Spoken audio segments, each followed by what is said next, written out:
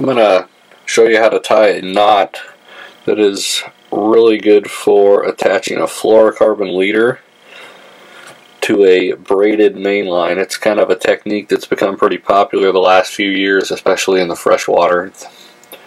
Um, most of the time I like to do it with 20 pound or less braid and I attach it to 6 to 10 pound fluorocarbon just depending on what I'm doing. It'll be different for everybody um, depending on what species of fish or what type of fishing they're doing but for the purpose of this video I'm using 50 pound E Poseidon braid and I'm attaching that to this is 20 pound sunline fluorocarbon. This knot's called the Alberto knot it's a super strong knot, very small and compact. First thing you do is you take your braid leader and you're going to fold it over to make a loop like this.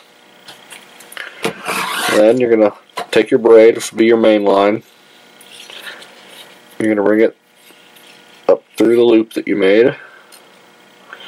Give yourself plenty of line to work with here. Okay, so you got it through your loop. Then I'm going to take my right hand and I'm going to pinch everything here. And now what you're going to do is you're going to take the braid and you're going to wrap it down and around the fluorocarbon seven times, going from right to left. So one,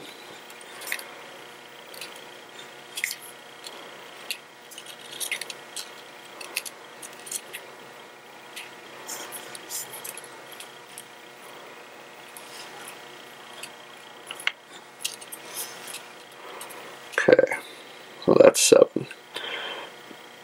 There's what you have. Then you're going to go back the other direction from left to right seven more times over everything. So I like to pinch it with my left hand here and go back over. One, two,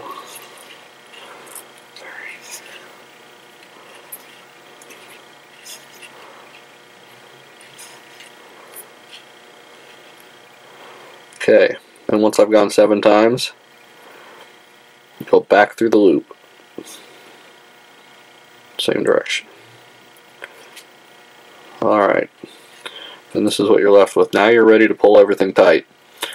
The cool thing about this knot is the harder you pull, the more you pull, the tighter the knot becomes. It's kind of like a like a Chinese finger trap almost. So just pull everything down. And it kind of helps if you kind of work it with your fingers a little bit just to make sure everything's even and uniform.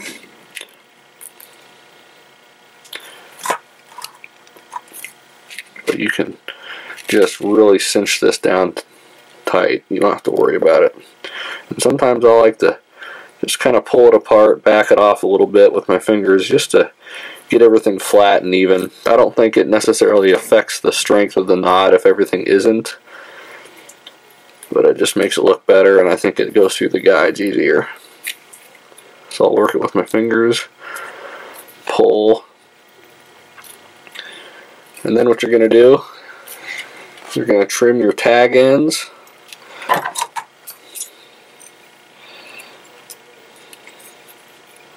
And you can get these extremely close. It's another nice thing about this knot.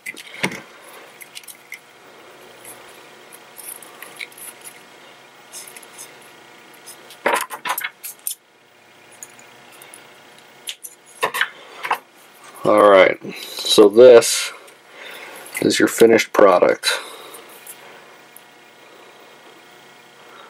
I didn't trim that one very close. I can trim it even closer, but it's extremely strong and super small and compact, so it's going to go through your guides real easy.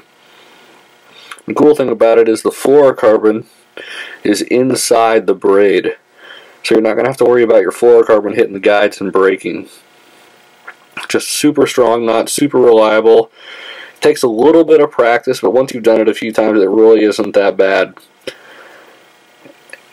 And this is a knot that I can fish with all day long. I'm not, I don't have to worry about retying it. It's super, I'm very, very confident in this knot.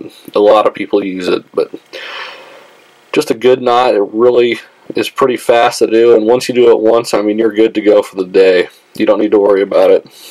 But just a tip that I think people could uh, really benefit from, so hopefully you learn something. Thanks.